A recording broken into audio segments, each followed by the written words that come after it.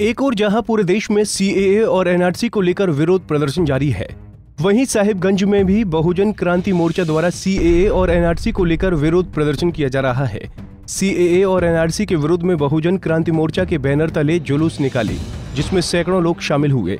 मार्च में शामिल प्रदर्शनकारियों ने केंद्र सरकार के विरोध में नारेबाजी की। वहीं प्रदर्शनकारियों पर पुलिस की पैनी नज़र बनी रही।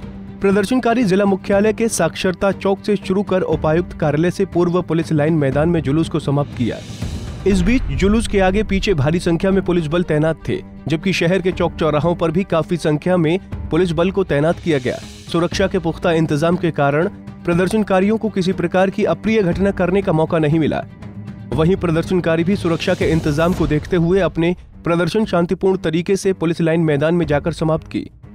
और केंद्र सरकार को कटघरे में खड़ा करते हुए एनआरसी और सीएए को गैर संवैधानिक करार दिया। इसके साथ ही देश के गृह मंत्री अमित शाह और प्रधानमंत्री के ऊपर देश में अशांति फैलाने के खिलाफ मुकदमा दायर की मांग की।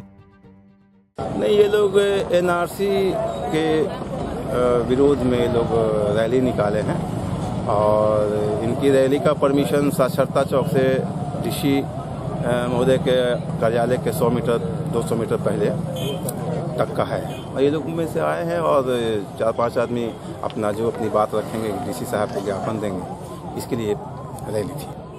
इन लोगों का आरोप है सर कि पुलिस ज़बरदस्ती रोक रही है। नहीं पुलिस ज़बरदस्ती रोक कहाँ रही है? पुलिस तो साथ साथ और इनको कॉपरेट कर रही है साथ में ले जा रही है।